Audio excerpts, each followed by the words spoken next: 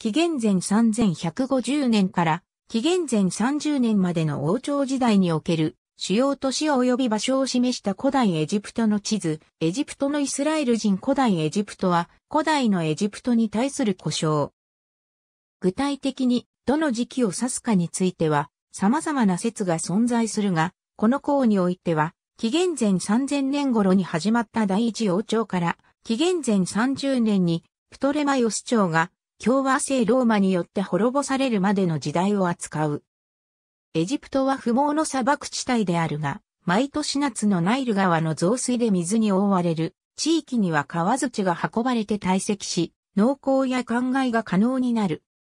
この氾濫源だけが居住に適しており、主な活動はナイル河畔で行われた。ナイル川の恩恵を受ける地域はケメトと呼ばれ、ケメトはエジプトそのものを指す言葉として周囲に広がる、デシェレトと対比される概念だった。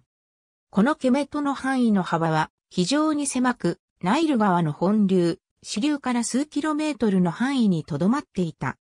しかしながら、川の周囲にのみ人が集中しているということは、交通においては非常に便利であり、川船を使って国内のどの地域にも素早い移動が可能であった。この利便性は、ナイル河畔に住む人々の交流を盛んにし、統一国家を建国し維持する基盤となった。ナイル川本流からナイル川の上流は谷合であり、ナイル川一本だけが流れ、下流はデルタ地帯が広がっている。最初に上流地域と下流地域でそれぞれ違った文化が発展した後に統一されたため、ファラオの称号の中に上下エジプト王という部分が残り、古代エジプト人も自国のことを二つの国と呼んでいた。毎年のナイル川の氾濫を正確に予測する必要から天文観測が行われ、太陽暦が作られた。太陽とシリウス星が同時に昇る頃、ナイル川は氾濫したという。また、氾濫が収まった後に農地を元通り配分するため、測量術、幾何学、天文学が発達した。ヒエログリフから派生したワディエルホル文字と原子内文字は世界のほとんどのアルファベットの起源となったとされる。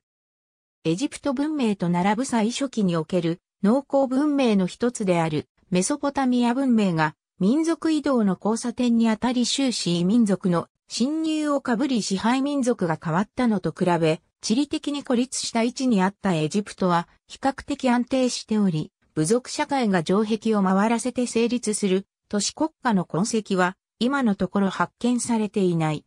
古代エジプト人は元号のように王の名前の統治何年目のように歴史を記録していた。そのため、絶対的な都市代表記法に置き換えた時に、幾分かの誤差があるだろうと言われる。初期王朝の始まりも5年から20年ほどの誤差がある可能性が指摘されている。古代エジプトは次の時代に区分されている。ロゼッタストーン。上から順に古代エジプトのヒエログリフ、デモティック、ギリシア語を用いて同じ内容の文章が記されている。エジプト文明が誕生し、人々が定住し農耕を開始したのは、およそ紀元前5000年頃と考えられており、紀元前4500年頃には、モエリス湖畔にファイユーム文化が成立し、紀元前4400年頃からは上エジプトの峡谷地帯を中心に中田文化が起こった。この時期のエジプトはいくつもの部族国家に分裂しており、やがてこの国家群が徐々に統合されていくつかの国家にまとまり始めた。ただし統合された部族国家は地域的なまとまりを持ち続け、上、エジプトに22、下エジプトに20、合計約42あるノモスと呼ばれる行政地区としてエジプト各王朝の行政単位となっていった。紀元前3500年頃にはまず上、エジプト、そして下エジプト、二つの統一国家が成立したと考えられている。紀元前3300年頃にはヒエログリフの文字体系が確立し、太陽暦が普及した。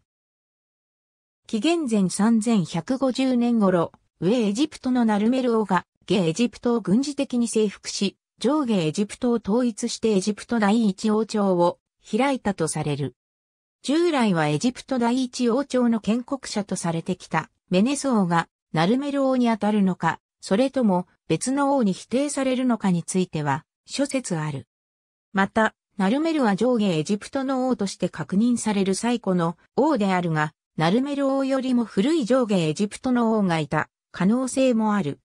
ヘロドトスによれば第一王朝期に上下エジプトの境界地域に首都としてメンネフェルが築かれたとされ、以後第一中間期の第八王朝に至るまでエジプトの各王朝はここに都した。エジプト第一王朝は紀元前2890年頃に王党の交代によってエジプト第二王朝となった。この初期王朝時代の二王朝については資料が少なく不明な点も多い。ギーザの三大ピラミッド。左手前からメンカウラー王、カフラー王、クフ王のピラミッド。紀元前2686年頃成立したエジプト第三王朝からはエジプト公王国期と呼ばれ、エジプト最初の繁栄期に入る。首都は一貫してメンフィスに置かれた。公王国時代には中央政権が安定し、強力な王権が成立していた。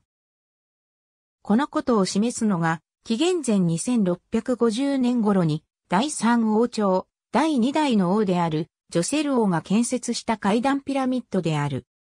このピラミッドは当初それまでの一般的な墓の形式であったマスタバで建設されたが、最初、イムホテプによる数度の設計変更を経て、最終的にマスタバを6段積み重ねたような階段状の応募となった。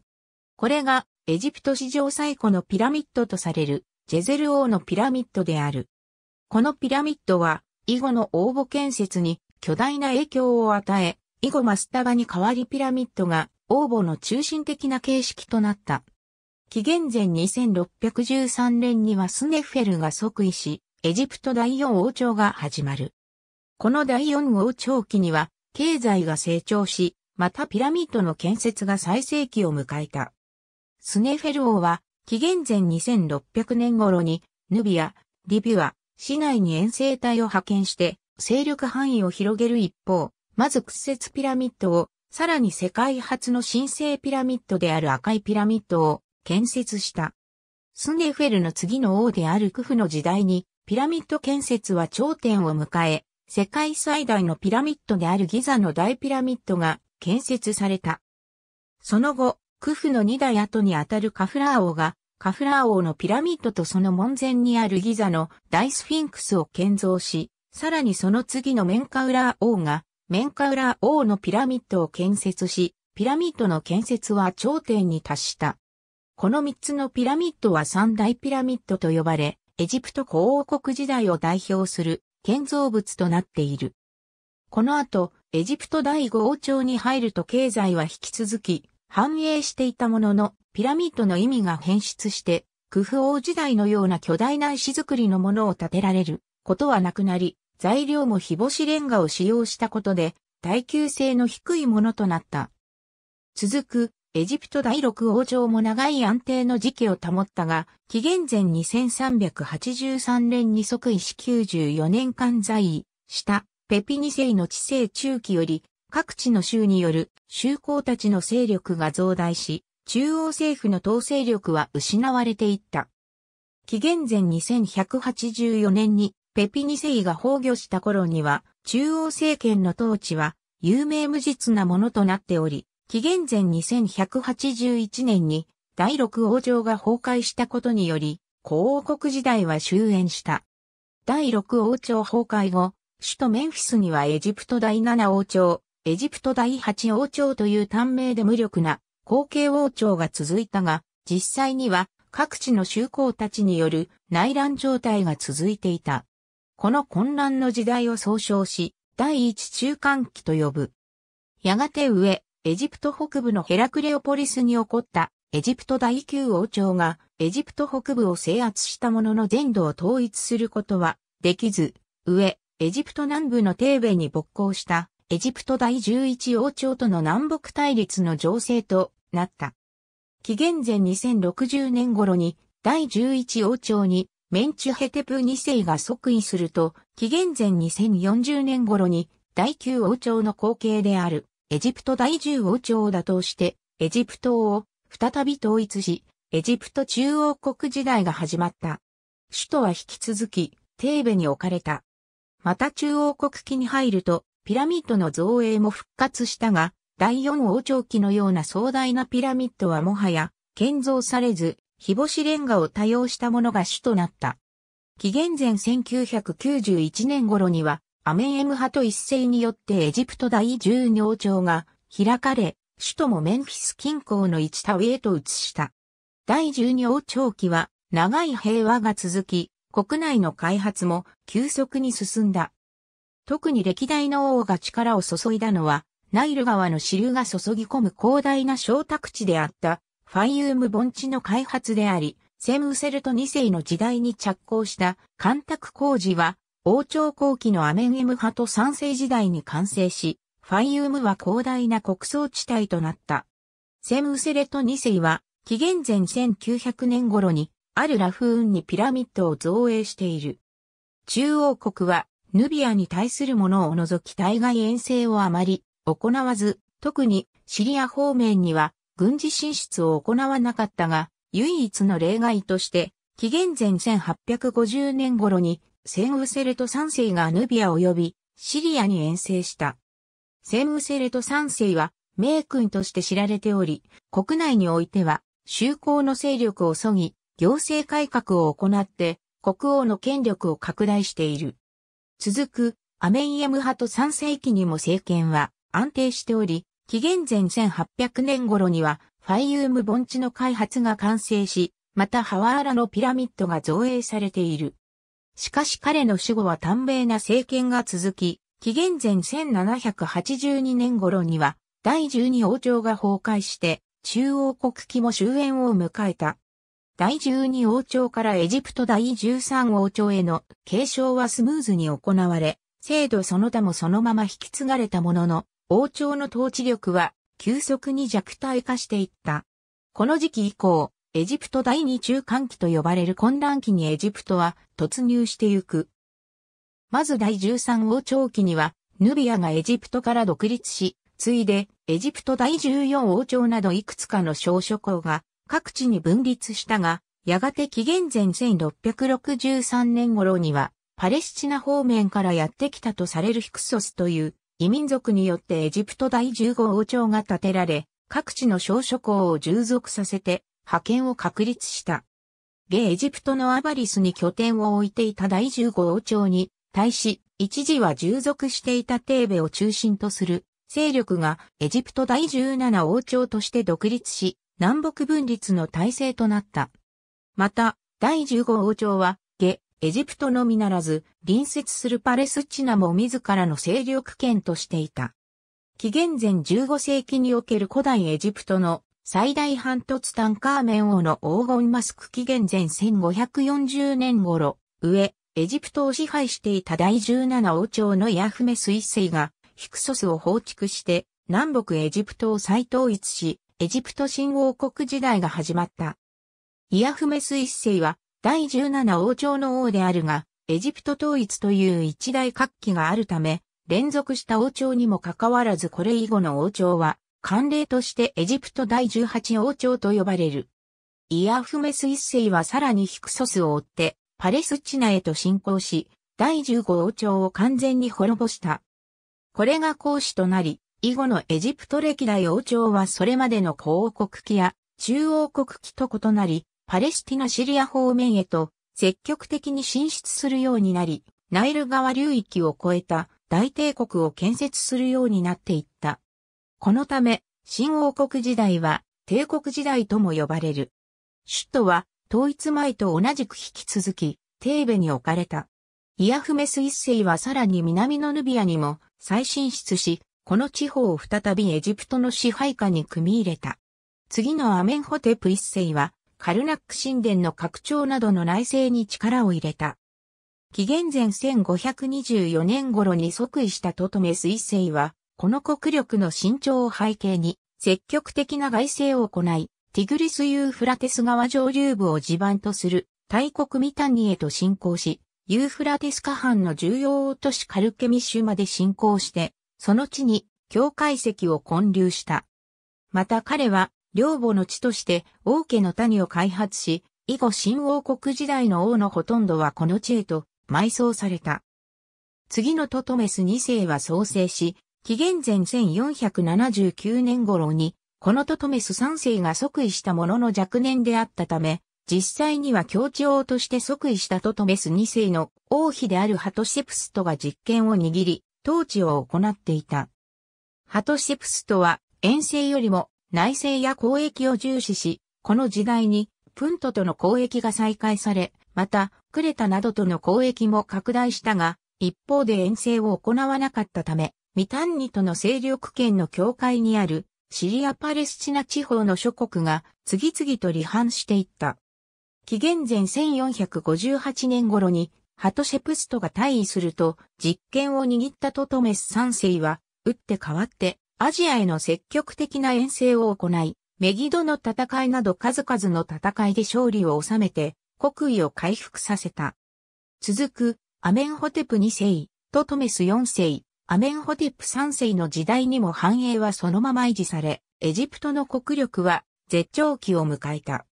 しかしこの頃にはもともと、テーベ氏の守護神であった、主神アメンを報じる新官勢力の身長が著しくなっており、王家と徐々に衝突するようになっていた。こうしたことから、次のアメンホテプ4世は、紀元前1346年頃に悪縁アテンと名乗って伝統的なアメン神を中心にした多神崇拝を廃し、アメン信仰の中心地である首都テーベからアマルナへと遷都し、太陽神アテンの一神崇拝に改める、いわゆるアマルナ宗教改革を行った。このアテン信仰は、世界最初の一神教と言われ、アマルナ美術と呼ばれる美術が花開いたが、国内の統治に集中して戦闘を避けたため、当時勢力を伸ばしつつあったヒッタイトに、シリア・パレスチナ地方の属国軍を奪われ、国力が一時低下する。紀元前1333年頃に即位したツタンカーメン王は、アメン信仰を復活させ、アマルナを放棄して、テーベへと首都を戻したが、若くして死去し、愛を経て、ホルエムヘブが即位する。ホルエムヘブは、官僚制を整備し、新官勢力を統制して、アマルナ時代から混乱していた国内情勢を落ち着かせたが警視がおらず、親友であるラムセス一世を後継に指名して死去した。これにより、第18王朝の血筋は絶え、以後は第19王朝と呼ばれる。王朝が交代したと言っても、ラムセス一世への皇位継承は規定路線であり、権力はスムーズに移譲された。ラムセス一世も老齢であったために即位後ほどなくして死去し、前1291年に即位した次のセティ一世は、アマルナ時代に失われていた北シリア方面へと遠征して、再び膨張主義を取るようになった。紀元前1279年頃に即位した次のラムセス2世は古代エジプト最大の王と呼ばれ、彼の長い統治の時代に新王国は最盛期を迎えた。紀元前1274年にはシリア北部のオロンテス川でムワタリ2世率いるヒッタイトと衝突し、カデシュの戦いが起きた。この戦いは痛み分けに終わり、この時結ばれた平和条約は後に、ヒッタイトの首都、ハット社から粘土板の形で出土している。また、ラムセス2世は国内においても様々な大規模建築物を建設し、ゲエジプトのデルタ地方東部に新首都ペルラムセスを建設して遷都した。その次のメルエンプタハ王の時代には、紀元前1208年頃に、海の民の侵入を撃退したが、彼の死後は短期間の在位の王が続き、内政は混乱していった。紀元前1185年頃には、第19王朝は絶え、第20王朝が新たに開かれた。第20王朝、第2代のラムセス3世は、最後の偉大なファラオと呼ばれ、この時代に新王国は最後の繁栄期を迎えたが、彼の死後は国政は下り坂に向かい、やがて紀元前1070年頃に第20王朝が滅ぶとともに新王国時代も終わりを告げた。これ以後古代エジプトが終焉するまでの約1000年は基本的には他国に対する軍事的劣勢が続いた。第20王朝末期には、テーベを中心とするアメン新艦団が勢力を増していき、紀元前1080年頃には、アメン新艦団の長ヘリホルがテーベに真剣国家を建てたことでエジプトは再び南北に分裂することとなった。紀元前1069年に成立した第21王朝は首都ペルラムセスからタニスへと移し、アメン大司祭国家に名目的な総主権を及ぼした。紀元前945年には、リビア人傭兵の子孫である、シェションク一世が、現エジプトに第22王朝を開き、アメン大司祭国家を併合して再統一を果たすが、その後は再びアメン大司祭が独立した他しも、エジプトに5人の王が分立するなど混乱を極めた。こうした中、エジプトの強い文化的影響を受けていた南のヌビアが勢力を拡大し、紀元前747年には、ピアンキがヌビアから進撃して、エジプト全土を制圧し、第25王朝を開いた。しかしその後、メソポタミアに強力な帝国を築いたアッシリアの圧迫にさらされ、紀元前671年にはアッシリア王エセルハドンの侵入を受けてゲエジプトが陥落。一時奪回に成功したものの、アッシュールバニパル王率いるアッシリア軍に、紀元前663年にはテーベを落とされて、第25王朝のヌビア人は、ヌビアへと撤退した。アッシュールバニパルは、サイスを支配していた猫一世に、エジプト統治を委任し間接統治を行った。この王朝を第26王朝と呼ぶ。第26王朝は当初はアッシリアの従属王朝であったが、アッシリアの急速な衰退に伴って自立の道を深め、紀元前655年には猫一世の子であるプサメティコス一世がアッシリアからの独立を果たす。これ以後は末期王朝時代と呼ばれ、また第26王朝は首都の中からサイスアサとも呼ばれる。アッシリアは、その後滅亡し、その医療はエジプト、シンバビロニア、リディア、メディアの4つの王朝によって分割された。プサメティコス1世の次の猫2世は、パレスチナシリア地方へと進出したものの、紀元前605年、カルケミッシュの戦いでシンバビロニアのネブカドネザル2世に敗れて、この進出は頓挫した。サイス朝時代のエジプトはシリアをめぐってシンバビロニアとその後も小競り合いを繰り返しながらも、上記のオリエント4大国の一つとして大きな勢力を持ったが、紀元前550年にメディアを滅ぼしたアケメネス朝のキュロス2世が急速に勢力を伸ばし、リディア及びシンバビロニアが滅ぼされるとそれに圧倒され、紀元前525年には、プサメディコス3世がアケメネス朝のカンビュセス2世に敗れ、エジプトはペルシアによって征服された。ペルシアのエジプト支配は121年間に及び、これを第27王朝と呼ぶが、歴代のペルシア王の多くはエジプトの文化に干渉しなかった。しかし、ダレーオス2世の死後、王位継承争いによって、ペルシアの統治が緩むと、サイスに勢力を持っていたアミルタヨスが反乱を起こし、紀元前404年にはペルシアから再び独立を達成した。これが第28王朝である。第28王朝はアミルタイオス一代で滅び、ついで紀元前397年から紀元前378年にかけては第29王朝が紀元前378年からは第30王朝が建てられ、約60年間にわたってエジプトは独立を維持したが、東方を統一する大帝国であるアケメネス朝は常にエジプトの再征服を狙っており、それに怯えながらの不安定な政情が続いた。そして、紀元前341年、アケメネス朝のアルタクセルクセス3世の軍勢に、最後のエジプト人ファラオであるネクタネボ2世が敗れ、エジプトはペルシアに再征服された。アルタクセルクセス3世は、エジプトの侵攻を弾圧し、圧政を敷いた。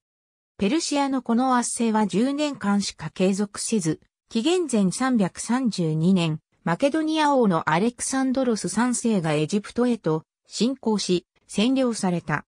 アレクサンドロスがペルシアを滅ぼすと、エジプトもそのままアレクサンドロス帝国の一地方となったが、紀元前323年にアレクサンドロス3世が死去すると後継者たちによってディアドコイ戦争が勃発し、王国は分裂した。この混乱の中で、ディアドコイの一人であるプトレマイオスがこの地によって勢力を拡大し、紀元前305年にはプトレマイオス一世として即位することで、古代エジプト最後の王朝であるプトレマイオス朝が建国された。この王朝はセレウコス朝、シリア王国、アンティゴノス朝マケドニア王国と並ぶ、ヘレニズム三王国の一つであり、国王及び王朝の中枢はギリシャ人によって占められていた。プトレマイオス一世は首都をアレクサンドロスによって建設された開港都市であるアレクサンドリアに置き、国政を整え、また無声音及びアレクサンドリア図書館を建設して学術を進行するなどの前世を敷いた。続く、プトレマイオス2世及び、プトレマイオス3世の時代にも繁栄が続いたが、その後は、アングナ王と政局の混乱が続き、また、シリアをめぐるセレウコス朝との6回にわたるシリア戦争などの打ち続く戦争によって国力は疲弊していった。紀元前80年には、プトレマイオス11世が殺されたことで王家の直系が断絶し、以後は勢力を増していく、共和制ローマの影響力が増大していくこととなった。紀元前51年に即位したクレオパトラ7世は、ガイウス・ユリウス・カイサルやマルクス・アントニウスといったローマの有力者たちとよしみを通じることで、エジプトの存続を図ったが、紀元前31年にオクタビアヌス率いるローマ軍にアクティウムの海戦で敗北し、紀元前30年にアレクサンドリアが陥落。クレオパトラ7世は自殺し、プトレマイオス朝は滅亡した。これにより、エジプトの独立王朝時代は終焉し、以後はローマの皇帝属州、アエギュプトゥスとなった。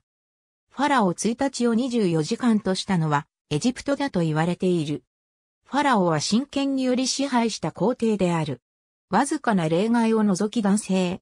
継承権は第一王女にあり、従って第一王女の夫がファラオになる。名前の一部には神の名前が含まれた。人口の1%程度の少ない貴族階級が土地を所有し支配していた。残る99%であるほとんどの平民はオザクだった。ファラオによって土地を与えられることにより貴族となるが、ファラオが交代したり王朝が変わると土地を取り上げられ貴族ではなくなることも多く、貴族は必ずしも安定した地位にあるわけではなかった。古代エジプトの教育制度については、どのパピルス文書にも明確なことは記されていないが、数学、医学、建築分野が発展しているため、相応の体制が整備されていたと考えられている。また、地位文学やその他のテキストからは、古代エジプト人が持っていた教育の目的や教育の内容に関する実際的な知識をわずかながら知ることができる。裕福な農民の子供たちを含む裕福な家庭の子供は14歳になるまでの間、公的な教育が施された。裕福な農民の子は神殿付属の学校へ、中流以上の子供は政府の建てた学校へ通った。それ以外の貧しい家庭の子と仮想民の指定の子たちは教育を受けなかったようである。授業内容は学校の目的によって異なり、神殿付属の学校では宗教儀礼に関する書物を写したり、宗教文学、総裁の経典、経典の仲介、神話物語などを勉強し、政府の学校では算数、幾何学、測量術、簿記、官庁の書類作成などを学んだ。他には、水泳やボート、レスリング、ボール競技、弓などといったスポーツも含まれていた。また、体罰は、怠けたり、言うことを聞かない生徒を正す良い方法であると思われていた。後世、ギリシャ人もこうした制度を非常に高く評価している。大貴族の息子の中には、王家の子供たちの教育にあたる教師のクラスに通うものもあったようである。他の者は将来の役人を養成する学校に通っていた。14歳になると医師や法律家そして初期を志望する子供たちはさらに勉学を進めるために神殿へ送られた。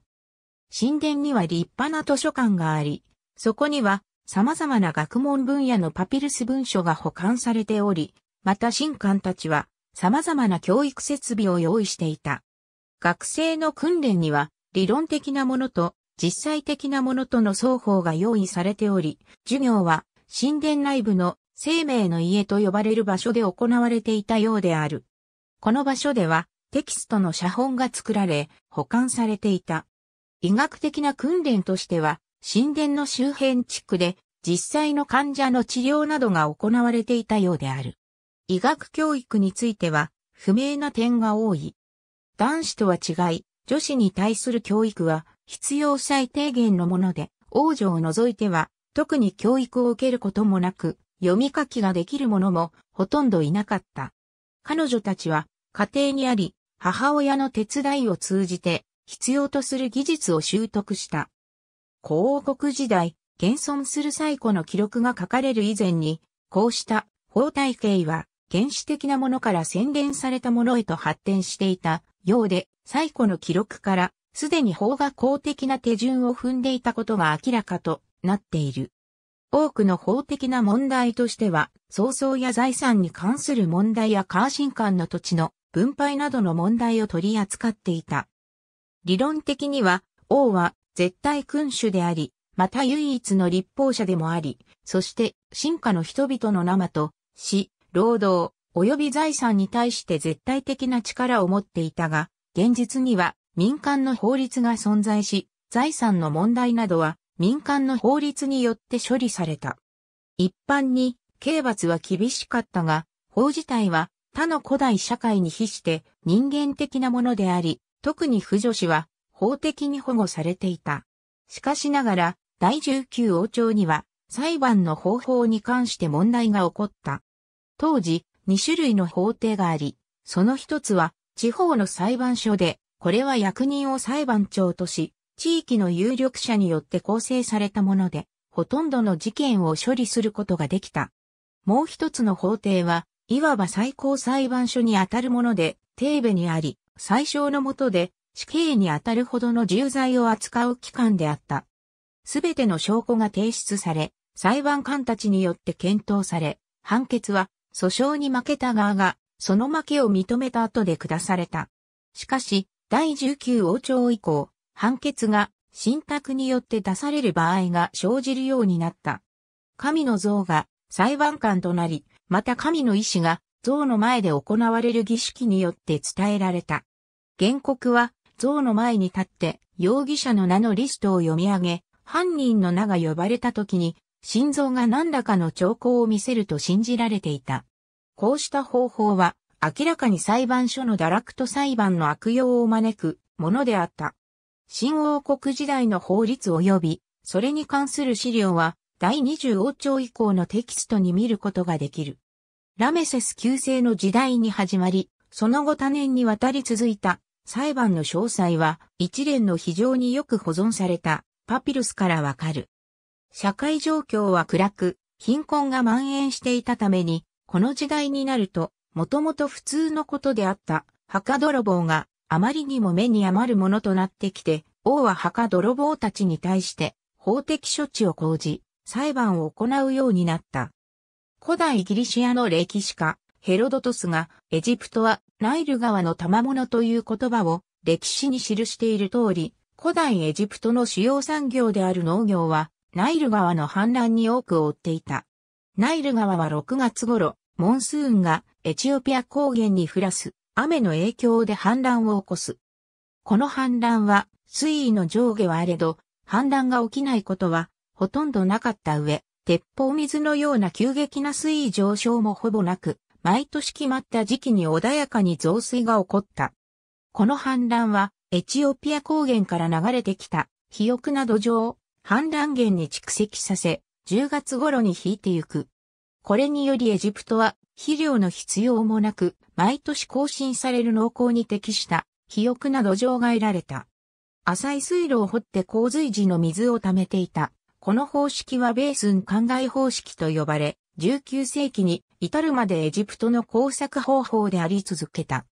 作物は大麦と小麦が中心であり、野菜では玉ねぎ、ニンニク、ニラ、ラディッシュ、レタスなどが主に栽培された。豆類では空豆、ひよこ豆。果実ではぶどう、夏目ヤシ、イチジク、ザクロなどがあった。外国から伝わった作物としては、新王国時代に、リンゴ、プラム、オリーブ、スイカ、メロン。プトレマイオス朝時代には桃、梨などが栽培された。古王国時代から中央集権の管理下に置かれており、水利監督官は洪水の水位によって収穫量を予測した。高地面積や収穫量は記録され、収穫量をもとに徴税が行われて国庫に貯蔵され、食料を不足の際には再配分された。農民の大部分は農土であったが、新王国時代になると報酬によって雇われる農民や自立農民が増加した。造船、ビールの醸造、工芸など高度な技能が必要な職があったことから、これに従事する職人が存在していたと推測されている。エジプトの本国はナイル川の領域に限られており、それ以外の地域は基本的にすべて外国とみなされていた。ナイル川流域でもエレファンティネの南にある第一急流によって船の訴状が阻害されるため、それより南は外国とみなされていた。この南の地域はヌビアと総称され、皇国以降の歴代王朝はたびたび侵攻し徐々に支配地域を南下させていったものの、動乱期になるとこの地域は再び独立し、統一期になると再びエジプトの支配下に入ることを繰り返した。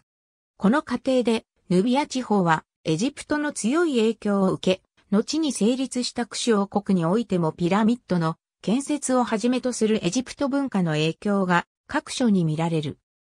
ヌビア以外の諸外国については中央国時代までは積極的な侵攻をかけることはほとんどなく交易関係にとどまっていたものの新王国期に入るとヒクソスの地盤であったパレスチナ地方への侵攻を皮切りにパレスチナやシリア地方の小国軍の支配権をめぐってミタンニやヒッタイとバビロニアなどの諸国と構想を繰り広げるようになった。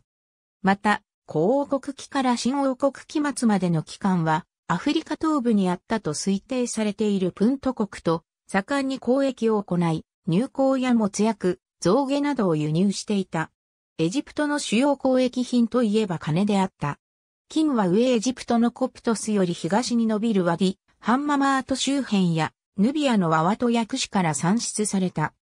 この豊富な金を背景にエジプトは盛んに交易を行い、国内において乏しい木材、鉱物資源を手に入れるため、銅、鉄、木材、ルリなどをシリア、パレスチナ、エチオピア、イラク、イラン、アナトリア、アフガニスタン、トルコなどから輸入していた。特に造船に必須である木材は、国内で全く産出せず、良材であるレバノン杉を産するフェニキアのビブロスなどからに輸入に頼っていた。ビブロスは中央国期にはエジプト向けの交易の主要拠点となり、当時エジプト人は海外交易船を総称してビブロス船と呼んだ。ビブロスからはまた、キプロスから産出される豊富な銅もエジプトに向け出荷されていた。このほ隠れた島のミノア文明もエジプトと盛んに交易を行っていた。ゲエジプト東端からパレスチナ方面にはホルスの道と呼ばれる交易路が地中海沿いに伸びており、陸路の交易路の中心となっていた。航海沿いには中央国期以降エジプトの支配する港が存在し、上エジプトの内陸極部から東へ砂漠の中を伸びるルートによって結ばれていた。この航海の港を通じて、プントやインド洋沿海諸国との交易が行われた。貨幣には貴金属が使われた。初期は氷量貨幣だったが、後期には鋳造貨幣が用いられた。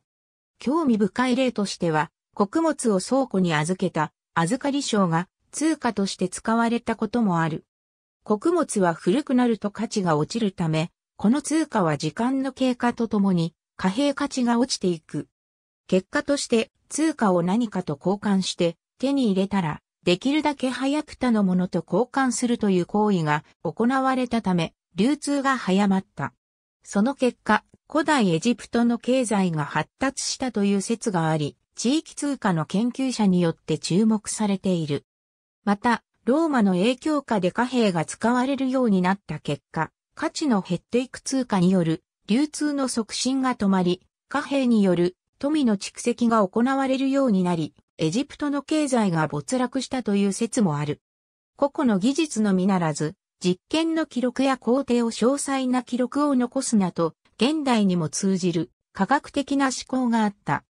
数学は社会へ応用可能なレベルに達しており、課税の調査や生産物の貯蔵と配分、現物支給の報酬の計算などに単位分数の計算が非常に多く用いられた。また、幾何学は高地の測量やピラミッドをはじめとする建設にも活用された。古代エジプト人にとってナイル川の増水、氾濫による洪水が最大の関心事であるため、高度な数学を利用して歴法が研究された。非侵襲性の外科手術、接骨、薬局型など、当時としては高度な実現しており、他国に医師を派遣した記録も残っている。医学的な知識はミイラの作成にも応用された。建築材料としては、日干しレンガが主流であり、石材も多用された。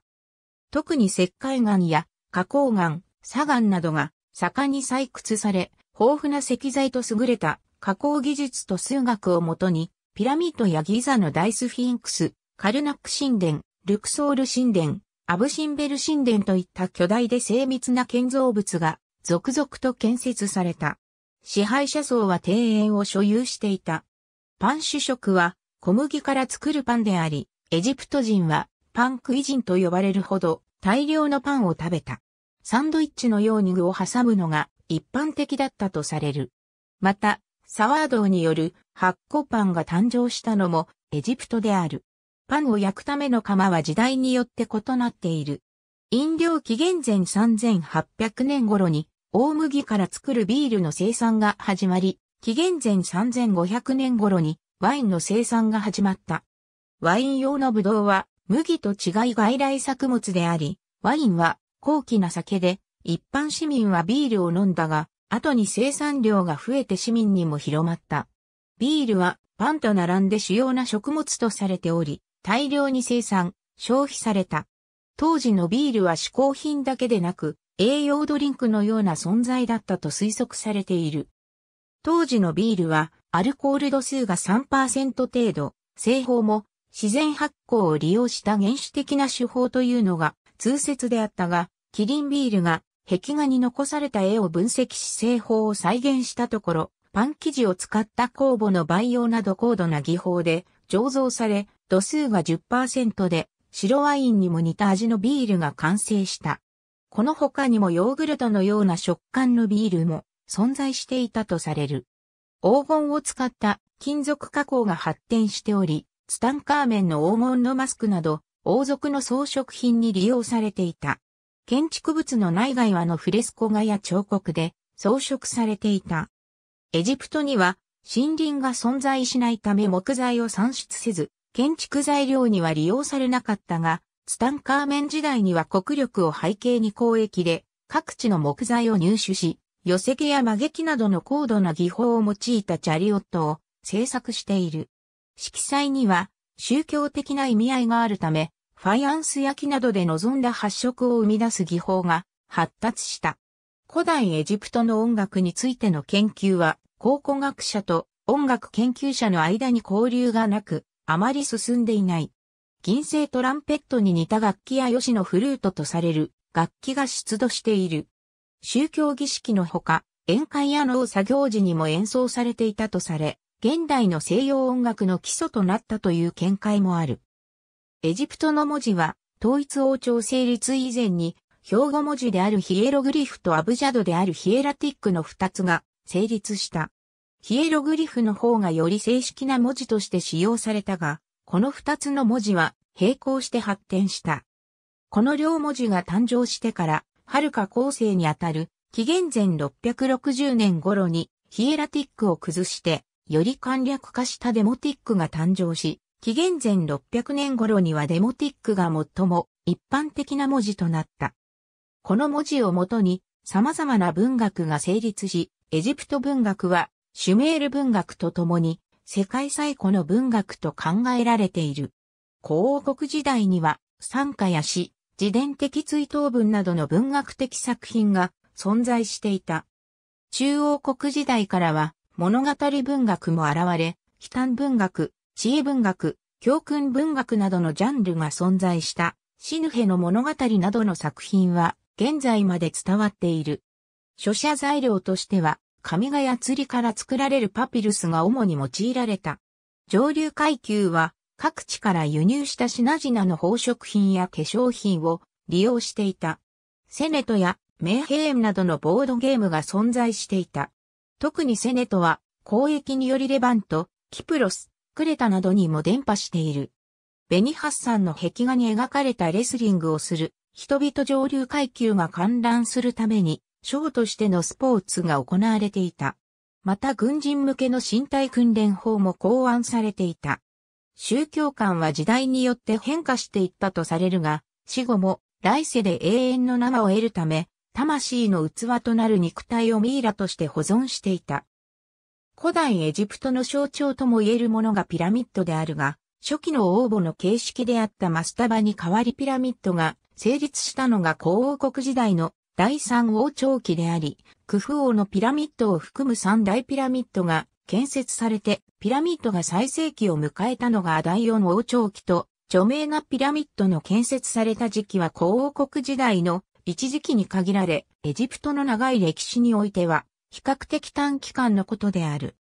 以後、古王国時代を通じてピラミッドは建設され、中央国時代にも一時建設が復活するものの、技術的にも材料的にも最盛期ほどのレベルに到達することはなく、徐々に衰退していった。ただしそれに代わり、付属の墓地群などが拡大し、総裁における重点が移動していった。新王国期に入るとピラミッドは建設されなくなり、王の墓は王家の谷に埋葬されるようになった。著名な研究者古代エジプトを題材にしたフィクションを多数表している作家。ありがとうございます。